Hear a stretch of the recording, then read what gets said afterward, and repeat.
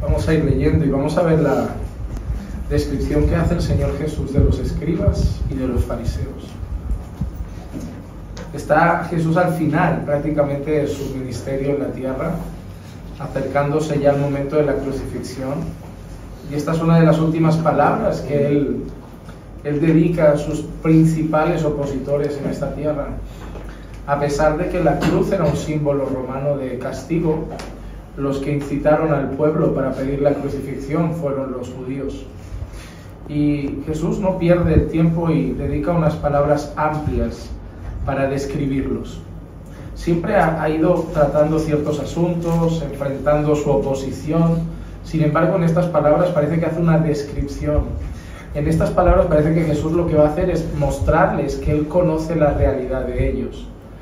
Es decir, esas son personas que a la gente les han mostrado una cosa, que la gente tiene una consideración de ellos, pero con estas palabras Jesús les va a dejar claro que Él sabe quiénes son en realidad.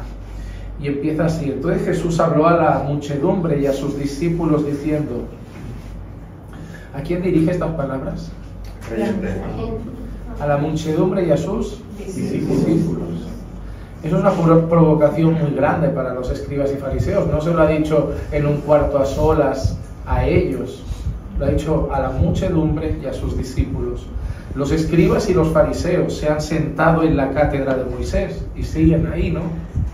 Siguen siendo los doctores de la ley, siguen siendo los que más conocimiento tienen. Gente brillante de mucha de muchos lugares y teólogos vienen aquí a escuchar quizá grandes rabinos y teólogos a que les hablen de la Torá. Están ahí, sentados en la cátedra de Moisés. De modo que haced y observad todo lo que os digan, pero no hagáis conforme a sus obras, porque ellos dicen y no hacen. Jesús no tenía problema con sus enseñanzas a grandes rasgos, porque la expresión están sentados en la cátedra de Moisés es estar enseñando la Torá, están enseñando la ley. Eso no significa que todo lo que enseñaban estuviera bien, porque en otras ocasiones Jesús dice que ellos añadían añadían preceptos de hombres y los trataban como si fuera palabra de Dios. Pero cuando enseñaban la palabra de Dios, cuando enseñaban la ley, cuando enseñaban lo que había establecido Moisés por parte de Dios, estaba bien. Entonces Jesús les dice, oye, todo lo que os enseñan, que viene de Moisés, no lo que ellos añaden, no, no la tradición que ellos suman, no raparse la cabeza, no dejarse los trenzas a los lados, eso no. Pero lo que ha dicho Moisés, lo que ha establecido Moisés, lo que ha enseñado Moisés, hacedlo. Fíjense que Jesús está hablando principalmente a un pueblo judío. Dice, eso hacedlo, pero no hagáis lo que ellos hacen. Cuando ellos hablan de Moisés, hablan bien. Cuando ellos dicen la palabra dice, Moisés dijo, el Deuteronomio dice, está bien, pero luego cuando ves sus vidas, algo no cuadra. y sigue así, atan cargas pesadas y difíciles de llevar y las ponen sobre las espaldas de los hombres, pero ellos ni con un dedo quieren moverlas.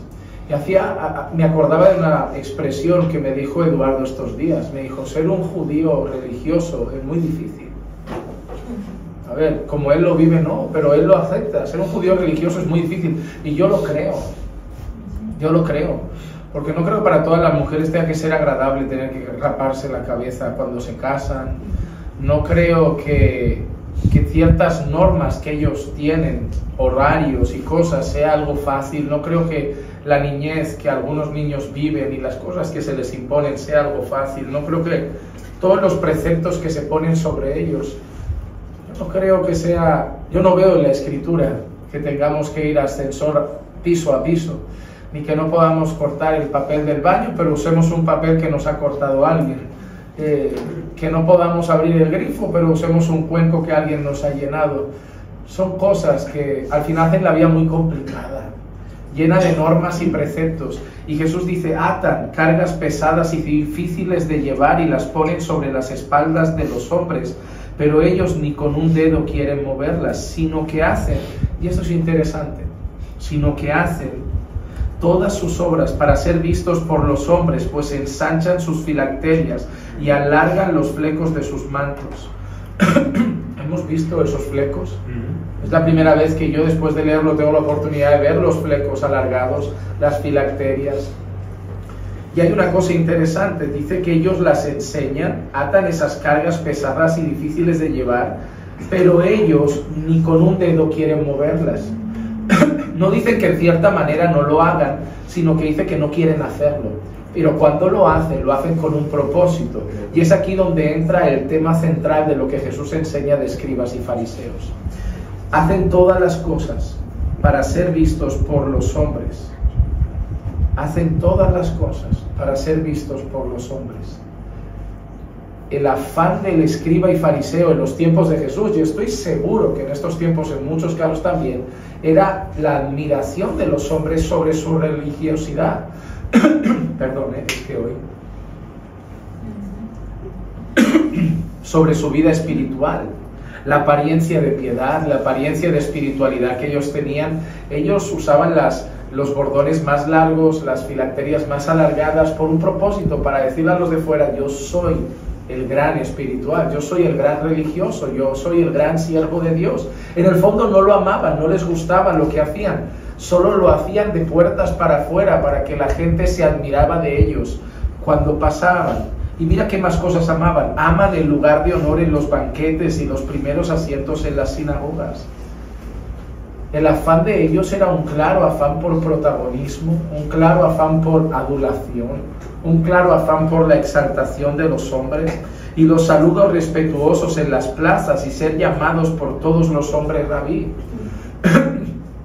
no es malo que alguien te ponga en, la primera fila de la sinagoga. No es malo que la gente te llame rabí, como tampoco es malo que la gente te llame pastor. Y no es malo que la gente te haga un saludo respetuoso. El problema no es la, cosa en sí, el problema es que ellos amaban esas cosas. El problema es, imagínense que alguien, vamos por el pasillo y dice, Juan Manuel, disculpa, y yo me digo, perdona, a mí no me hables así, a mí es Señor Pastor. Y de eso yo he visto también en el mundo evangélico, por eso quiero leer estas palabras. Eso no está solo en el mundo judío, en el mundo católico tenemos a un señor que le besan un anillo cada vez que lo saludan públicamente en el mundo evangélico también tenemos muchas jerarquías. En el mundo evangélico también tenemos muchas personas que aman los primeros lugares. Hay iglesias donde claramente si tú eres pastor no te vas a sentar con el populacho a escuchar la predicación. En el altar hay unas sillas especiales para los líderes de la iglesia. En esas sillas no entra el diácono, en esas sillas no entra el hermano, en esas sillas está el pastor, el apóstol, el profeta. Esas sillas son VIP. Y a mí me preocupa cuando voy a iglesias evangélicas y encuentro sillas VIP, sillas especiales según el cargo, según la posición. No tengo problema con la honra, tengo problema con la adulación.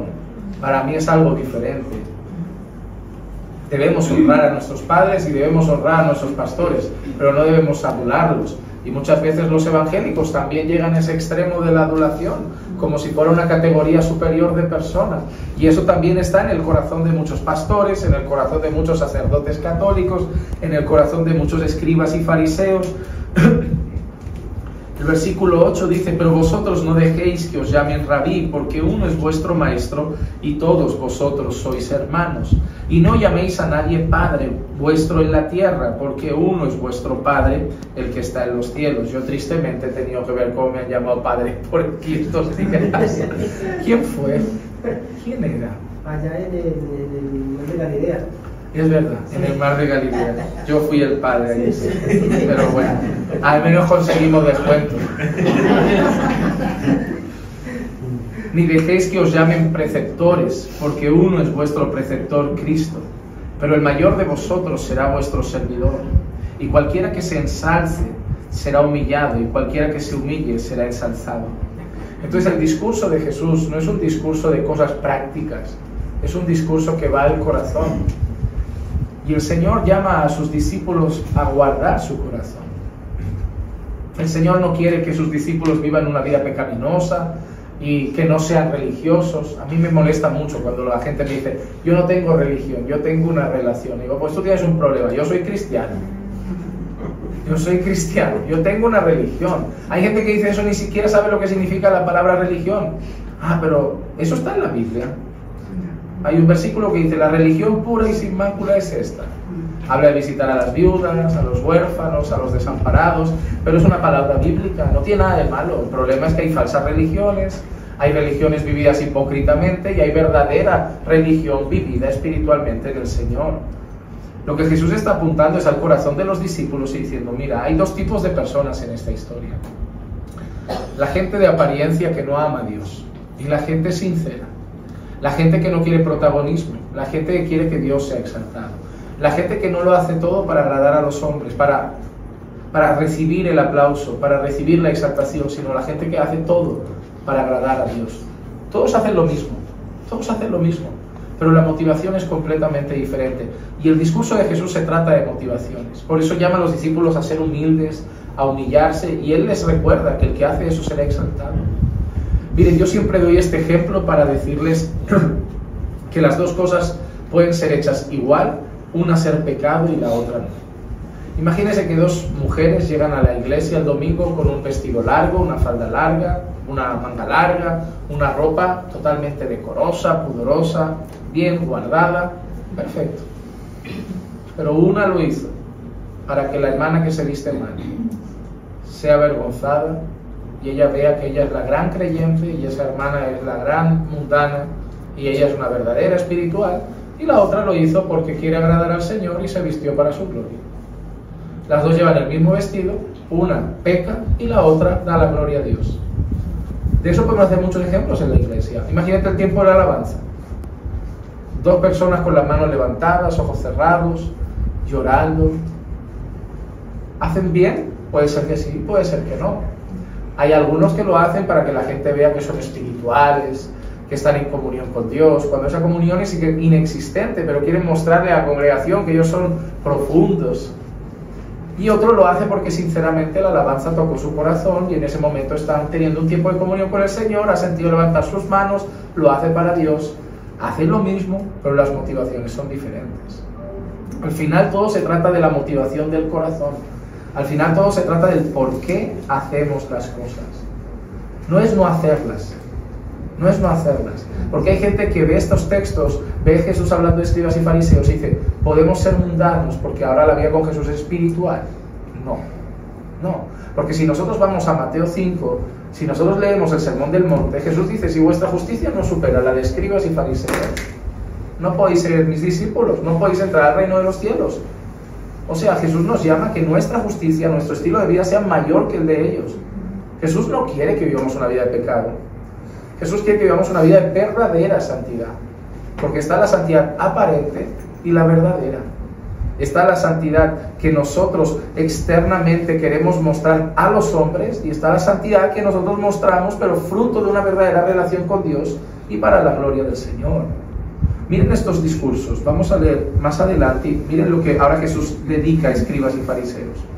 A partir del versículo 13 dice, pero hay de vosotros, escribas y fariseos hipócritas, porque cerráis el reino de los cielos delante de los hombres, pues ni vosotros entráis, ni dejáis entrar a los que están entrando. Hay de vosotros, escribas y fariseos, porque devoráis la casa de las viudas, aun cuando por pretexto hacéis largas oraciones. Por eso recibiréis mayor condenación. Había mucha gente que iba a hacerles vida espiritual a las viudas, largas oraciones, pero se llevaban su, su monedita. Tristemente he conocido pastores que si no hay algo por medio, pero toda bendición que sale de ellos tiene que ser con recompensa monetaria y que también explotan a los ingenuos. Nosotros hemos tenido casos de personas que han tenido que, porque en su iglesia a principio de año se hacía un pacto con el Señor, en un momento malo vender incluso la nevera para tener para ese pacto gente que ha devorado la casa de las personas y ha perturbado familias enteras. Mira lo que sigue diciendo en el 15, hay de vosotros escribas y fariseos hipócritas, porque recorréis el mar y la tierra para hacer un prosélito y cuando llega a hacerlo lo hacéis hijo del infierno dos veces más que vosotros. Eran fábricas de hipócritas eran fábricas de falsos creyentes y hoy muchas iglesias evangélicas también son fábricas de falsos creyentes. Son falsos pastores fabricando falsos creyentes. Porque hermanos, déjenme decir una cosa. Cuando a mí me preguntan si alguien puede ser salvo en una iglesia donde hay un falso evangelio, yo lo dudo. La salvación viene por el evangelio. Un falso evangelio no salva. La Biblia dice que el Evangelio es poder de Dios para salvación de todo aquel que cree, del judío primeramente y también del griego. Si el Evangelio que me han predicado es falso, la conversión es falsa. Falsos pastores, falsos mensajes, falsos creyentes, falsas iglesias, falsa esperanza de salvación. La mayor necesidad del creyente es saber que está en un lugar donde le predican el verdadero evangelio, porque si no estamos fabricando gente que cree ser salva, pero que acabará en el infierno, que le dirán mañana Señor, Señor, Señor, en tu nombre, en tu nombre, en tu nombre. En el 16 día dice, hay de vosotros guías ciegos que decís, no es nada el que alguno jure por el templo, pero el que jura por el oro del templo contrae obligación. Llegaron al punto de decir, bueno, si juras en el nombre del templo, pero no por el oro. Ahí ves dónde estaba su corazón. Ahí ves dónde estaba su corazón.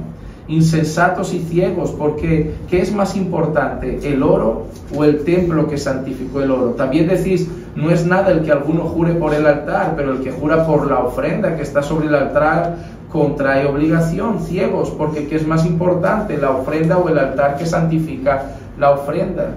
Por eso el que jura por el altar, jura, jura por él y por todo lo que está sobre él. Y el que jura por el templo, jura por él y jura por el que en él habita. Y el que jura por el cielo, jura por el trono de Dios y por el que está sentado en él.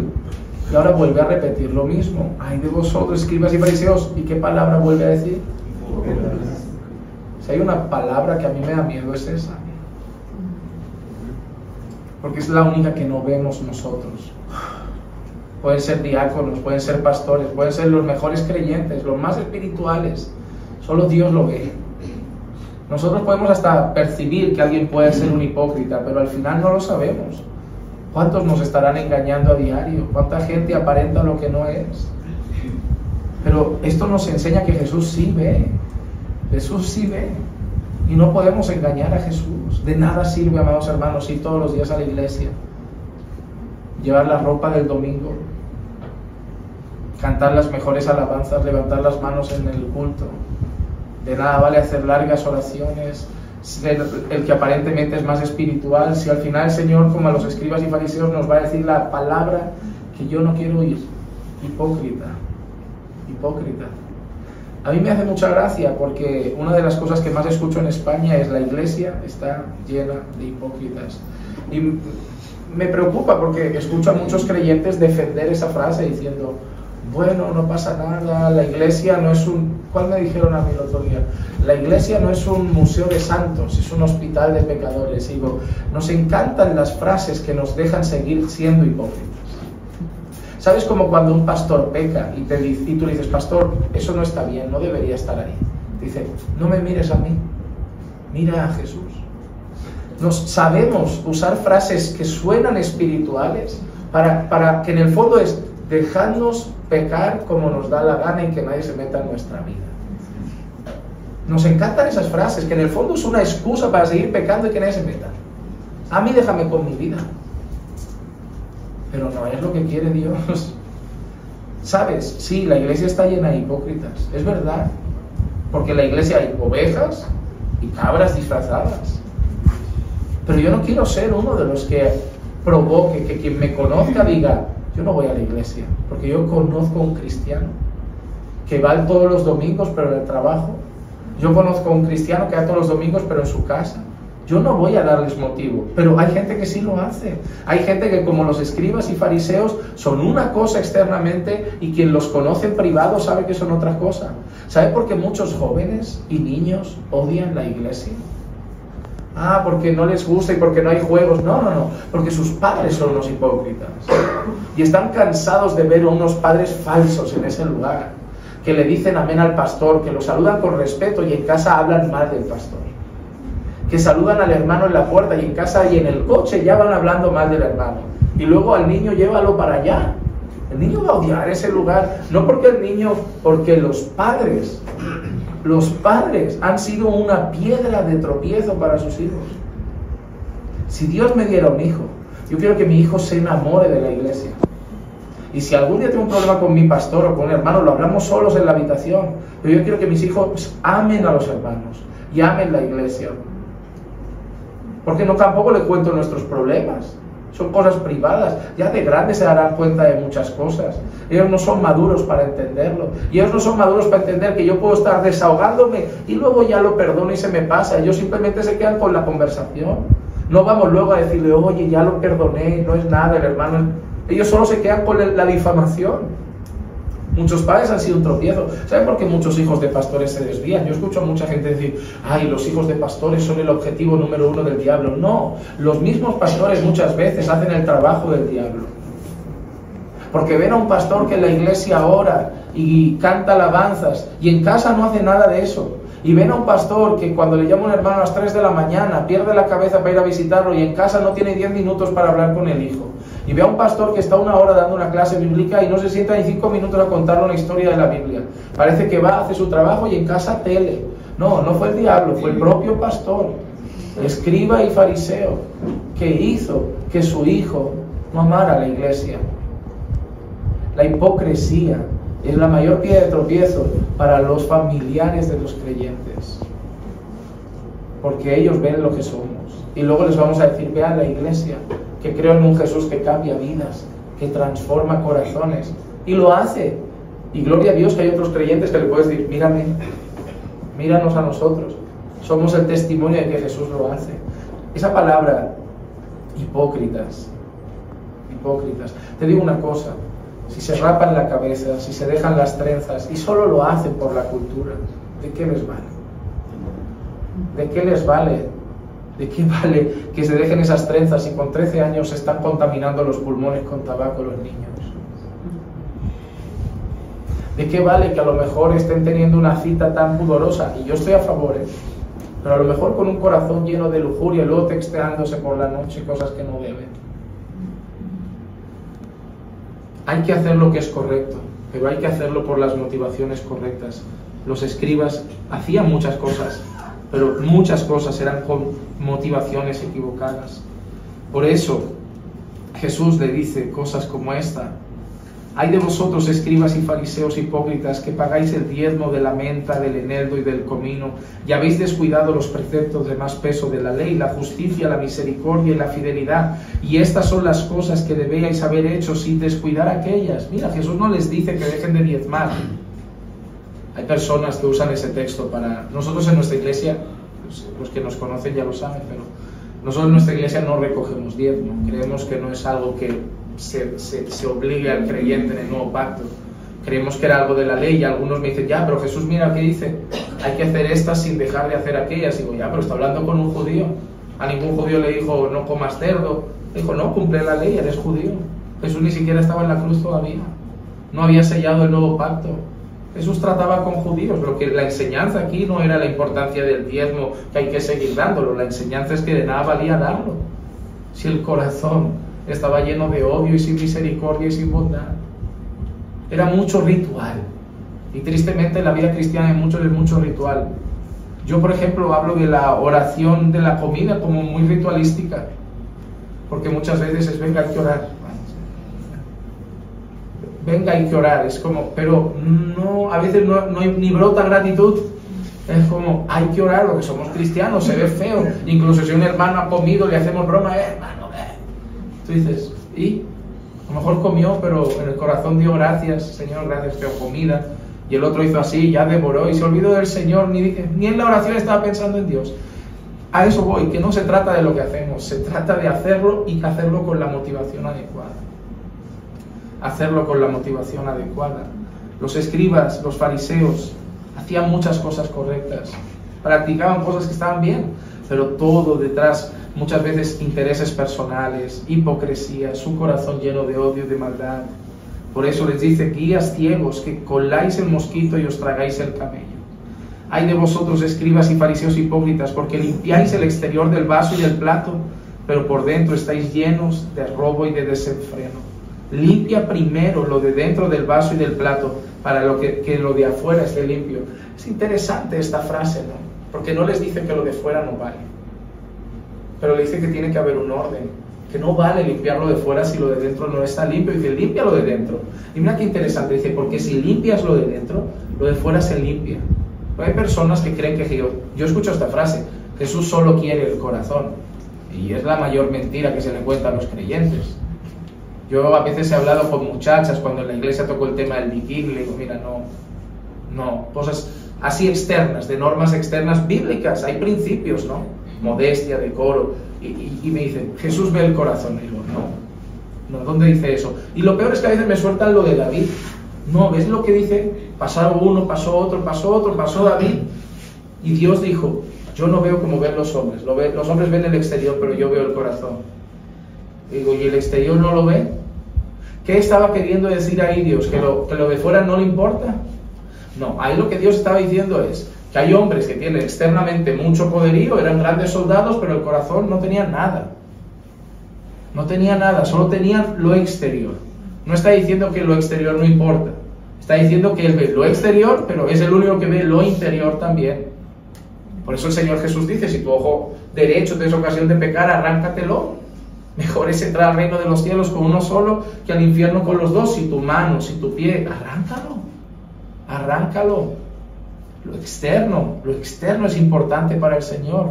Cuando habla de santificación, Pablo dice, santificaos todo, cuerpo, alma, espíritu, usa esa expresión, refiriéndose a santificar todo nuestro ser. Pablo a los Corintios dice, vuestro cuerpo, el cual no es vuestro, sino que es de Dios. Constantemente lo dice Pablo en más de una ocasión. Solo que hay dos cosas. Hay gente que se pone un disfraz, dentro están podridos, por fuera lucen bien, y hay gente que por dentro Dios los ha tratado y entonces lucirán bien por fuera. Uno es un disfraz y uno es verdadero. Y lo que pasaba con escribas y fariseos es que eran pura hipocresía. Externamente todo bien, pero por dentro estaban podridos. Querían mostrar oraciones por fuera, sus prácticas por fuera, pero por dentro solo estaban muertos. Volvamos entonces rápido un poco atrás y ya llego al final en Mateo 5.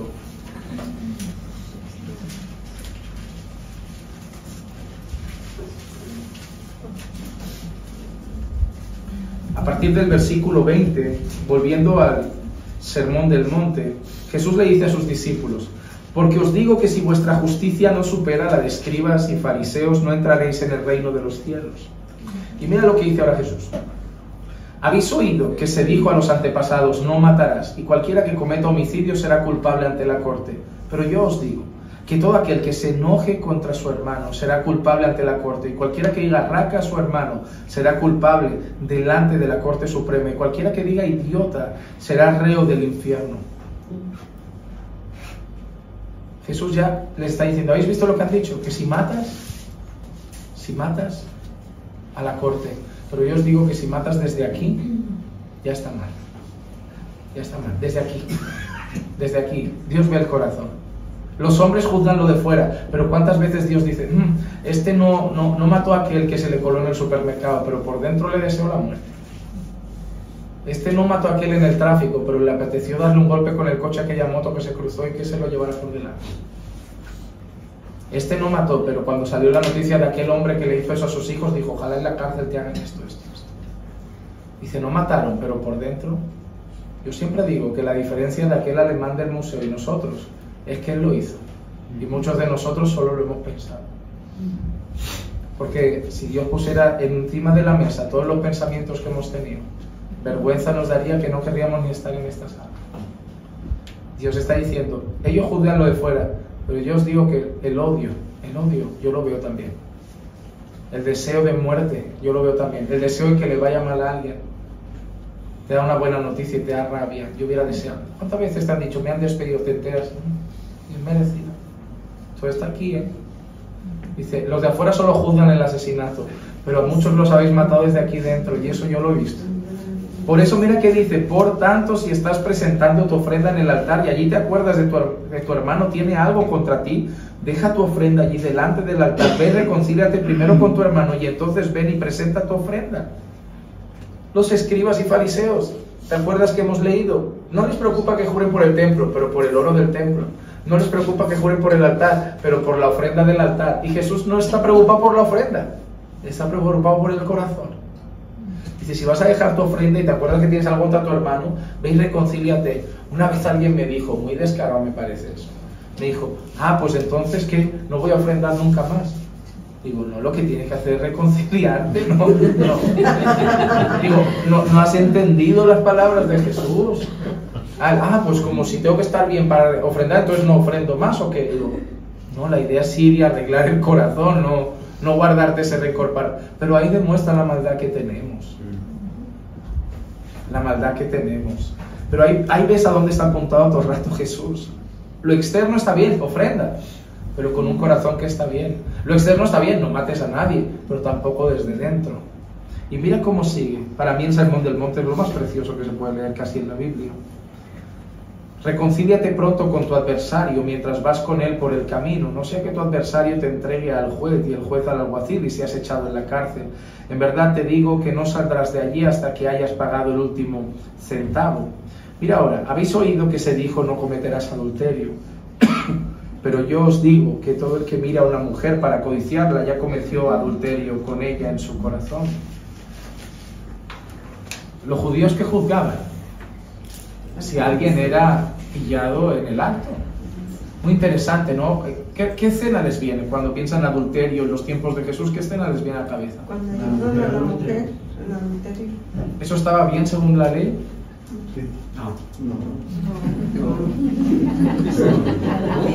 Ah, el adulterio. No, no, el apedreamiento estaba bien establecido según la ley. Sí, sí, sí. Según la ley, sí. ¿Dónde estaba el hombre? Sí, exactamente. ¿Dónde estaba el hombre? Porque según la ley ambos debían ser apedreados. ¿Dónde estaba el hombre? Otra cosa, según la ley, los testigos debían, debían haber testigos. ¿Dónde estaban los testigos? Según la ley, tenía que haber un juicio justo. O sea, sí que había lapidación, pero tenía que haber un juicio justo. ¿Dónde estaba el juicio? Así aplicaba muchas veces la ley. Vamos a castigar a un adúltero. Y el adúltero, quién sabe, igual tenía dinero. Quién sabe, igual era un escriba. Quién sabe, igual era un fariseo. Y había que guardar la reputación. Matándola, quién se iba a enterar quién fue el hombre. ¿Verdad? Esa escena no es solo de perdón. Esa escena es de mucho más que eso. Hay mucho detrás de esa escena. Pero lo que se mataba era el acto, ¿verdad? Solo el acto de, pillar a alguien en la cama. Sin embargo, Jesús dice que el que mira a una mujer y la codicia ya adultera con ella en su corazón. Jesús vuelve a apuntar a aquel lugar de nosotros al corazón. Es ¿alguna vez has adulterado? Jamás he sido siempre un hombre fiel. ¿Has mirado? ¿Se te ha ido el ojo por segunda vez? Porque es así. Y algunas personas dicen, a todos nos pasa, no, a Jesús no. Y no a todos les pasa. Puede ser que sí, que muchos hombres lidien con ese problema en el pasado, pero Jesús nos hace libres de esas cosas, igual que del odio, también nos hace libres de esas cosas. Pero Jesús está apuntando al corazón, dice, puede ser que no te hayas ido a la cama con otra mujer, pero coqueteas con la compañera de la escuela o la compañera del trabajo o la sonrisita con la hermana de la iglesia o eh, el WhatsApp que te escribe con la hermanita, eh, amor, ¿por qué te escribe la hermana? ¿Por qué no te escribe su marido? No, me ha preguntado algo de la iglesia, pero ¿por qué me lo pregunta a mí? Pero no es nada. Todo empieza así, eh, también os lo digo, que todo empieza por no es nada. Y en el fondo somos nosotros que jugamos a, hacernos los inocentes. No es nada, pero me gusta. Me gusta el cachondeo, me gusta el coqueteo, me gusta todavía eso, que no tengo ya casado y voy a jugar con los límites. No es nada, pero un saludito más, no es nada, pero hermana que bien le sienta el pelo, no es hermana, ah, se cortó el cabello, hermana. Eso no se le tiene que decir a otra mujer que no sea la tuya. Pero son cosas del corazón. Mucha gente dice, no, yo no me iría jamás. Es que no, Jesús ve más allá. Jesús ve los pensamientos, los deseos, las intenciones del corazón. El discurso de, Mateo 23 y el discurso de Mateo 5 es la vuelta les está diciendo, esto solo hacen las cosas de fuera y vosotros tenéis que hacerlo con el corazón adecuado. Por eso les ha dicho, vuestra justicia debe ser superior a la de los escribas y fariseos, porque ellos hacen para ser vistos y vosotros hacéis por fuera, pero porque tenéis que hacerlo desde el corazón también, no solo externamente. Mira cómo sigue diciendo ahora. Si tu ojo de- de- derecho te es ocasión de pecar, arráncalo y échalo de ti, porque es mejor que se pierda uno de tus miembros, sino que todo tu cuerpo sea arrojado al infierno. Y si tu mano derecha te es ocasión de pecar, córtala y échala de ti, porque te es mejor que se pierda uno de tus miembros, sino que todo tu cuerpo vaya al infierno. También se, diz- se dijo, cualquiera que repudia a su mujer, que le dé carta de divorcio. Pero yo os digo que todo el que se divorcia de su mujer, a no ser por causa de infidelidad, la hace eh, cometer adulterio. Y cualquiera que se casa con una mujer divorciada, comete adulterio. A mí, eh, eh, Eduardo me dijo abiertamente en el autobús, porque yo le dije, no, estas señoras no se pueden divorciar. Y me dice, sí, sí, sí pueden, sí se puede. Incluso dijo una expresión que a mí me chocó mucho, dijo, si se casan y esa mujer no le da hijos, fuera y a por otra, porque para el judío eso es muy importante. Más importante que el matrimonio es la descendencia para ellos, el nombre, el apellido. El discurso de, Mateo 5 y las palabras de Jesús a los fariseos en Mateo 23 es el choque de realidades, dos mundos diferentes, sus discípulos y los líderes y judíos del momento. Y eso es lo que yo he vivido estos días aquí. Yo cuando andaba por el barrio judío ultra ortodoxo no sentí ninguna envidia. Yo no sé si alguno la sentiría, pero yo no sentí ninguna envidia de eso. No me entraron en ningún momento ganas de decir, wow, yo tengo que venir a vivir aquí mi verdadera espiritualidad. Yo sentí dolor, yo sentí pena, yo sentí tristeza. Que hay cosas que veo hermosas, claro que sí, ver cómo las niñas cuidan a sus hermanos, ver cómo valoran el trato familiar, el respeto a la familia, precioso.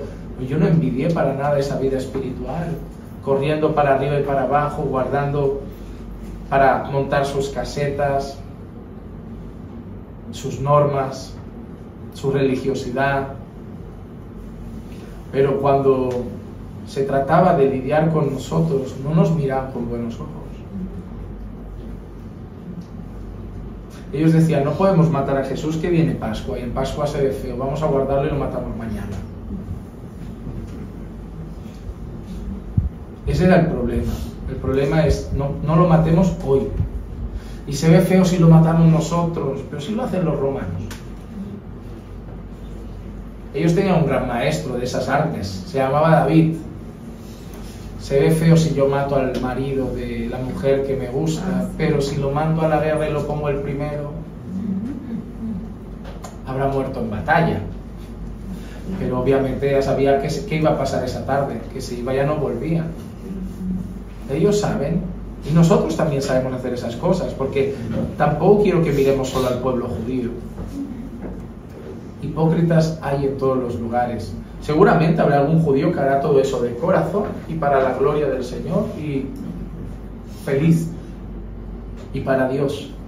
Pero la mayoría o muchos es simplemente una religiosidad externa basada en preceptos de hombres que ellos viven como si fuera palabra de Dios. Porque como yo les dije, yo he leído mi Biblia estos días, la he ojeado un poco más y yo no he visto nada del ascensor que no se pueda dar el botón ni que no se pueda cortar el papel. Yo entiendo que por eso también querrían matar a Jesús, porque uno de los temas principales es que según ellos violaba el día de reposo. Y Jesús les decía, no puedo hacer el bien en día de reposo, si se me cae una abeja en día de reposo a un agujero no la voy a sacar. Pero es interesante hasta qué niveles lo llevan. Pero por otro lado, nos, ve, nos veía a nosotros. El día de la cena del Señor, recordando el sacrificio de Cristo, yo vi muchas lágrimas y no las vi haciendo espectáculo y rodando para que los vieran. Las vi sentadas para sí, en un momento particular con el Señor, mientras escuchaban su palabra. Si la palabra más terrible en la religión es hipocresía, la palabra más bonita es sinceridad. Si la espiritualidad falsa es lo peor que podemos tener, la, espiri la espiritualidad verdadera es lo mejor que debemos tener. Dios quiere que seamos santos, pero de verdad no vale tratarnos con educación aquí y pelear en el cuarto del hotel. No vale hablarnos con educación aquí y discutir en casa y decirnos palabras feas. No vale ser mansos aquí y en el tráfico ser personas enajenadas que van tocando el claxon no vale ir el domingo a la iglesia y comulgar con el mundo el lunes. No vale escuchar alabanzas el domingo y el lunes escuchar No vale. No vale. Porque lo que al final el Señor nos ha dejado muy claro es que nadie puede servir a dos señores. Y puedes acabar tus días haciendo que todo el mundo te recuerde como el gran espiritual. Y hasta el día de tu entierro que te despidan diciendo, una hermana, el pastor era, pero el Señor te condenará igual. No sales ganando, no salimos ganando. Vivir una vida de apariencia no sirve. Sirve si lo que buscamos es el reconocimiento de los hombres, pero no sirve si lo que buscamos es la gloria de Dios. Por eso en este último día yo quería guardarme estas palabras para llamarles a una sola cosa, porque yo no soy el pastor de ustedes. Pero yo solo los animo a ustedes y a mí ¿eh? A que vivamos una fe verdadera, una fe sin hipocresía. Eso no es que les diga, ahora hagan lo que el mundo hace y sean felices. No, no, no. Sean santos, pero seanlo de corazón, seanlo para la gloria de Dios, Hagan las cosas para agradar a Dios primeramente. Vivan una fe honesta. Obedezcan al Señor. No se preocupen por si los hombres los admiran o los rechazan, los reconocen o los desprecian. Si ustedes agradan a Dios, eso es suficiente. Pero sean honestos con su profesión de fe. Que lo que le mostramos al mundo que somos, seamos eso. En nuestras casas, en nuestros trabajos, en la calle, en todo momento. Para que cuando el Señor nos vea, no nos diga, yo nunca te conocí. Para que cuando el Señor nos vea, nos diga, buen siervo y fiel. En lo poco has sido fiel. Era tu casa. Yo no te, no, te quise hacer un pastor de multitudes, pero te quise hacer madre, eh, marido y padre. Y cuidaste de tus hijos, les enseñaste la palabra, fuiste un trabajador honesto, viviste mis mandamientos en, en la sociedad, ya está, no te pedí más, no te pedí que construyeras iglesias ni que fueras un misionero. Buen siervo y fiel. En lo poco has sido fiel, en lo mucho te pondré. Has sido madre, madre, una madre cristiana. Has enseñado a tus hijos en el temor del Señor. Has honrado a tu marido. Has sido una mujer en la calle digna, una mujer creyente, una mujer piadosa. Buena sierva y fiel. En lo poco has sido fiel, en lo mucho te pondré. ¿De qué valdría no irnos de aquí como llorando al pastor Juan Manuel en la tumba. Ay, nos gustaba tanto, fue un gran hombre. Llegó a tantos, ¿verdad? ¿Cuántos llegaron a la iglesia por sus vídeos? Nos cayó también cuando lo conocimos en aquel viaje, ya estar ahí en la presencia del Señor. Y luego llegan y no estoy. Podría ser. Podría ser. Uno de los mayores predicadores de la época de Billy Graham se llama Jimmy Swaggart llenaba estadios. La gente era, Billy Graham y él eran los dos, los top predicadores del momento. Perdió su ministerio, lo encontraron con mujeres de mala vida. No es que un día cayó, es que un día le pillaron. Hay una asignatura que me gusta mucho que es apologética, la defensa de la fe cristiana. Y uno de los hombres que más me influenció con conferencias se llamaba Rabbi Zacarías. Ese hombre ha llenado universidades, ha llenado centros, ha, callado la boca de ateos. Yo lo tenía como un héroe. se ponía con un ateo delante y lo dejaba sin argumentos.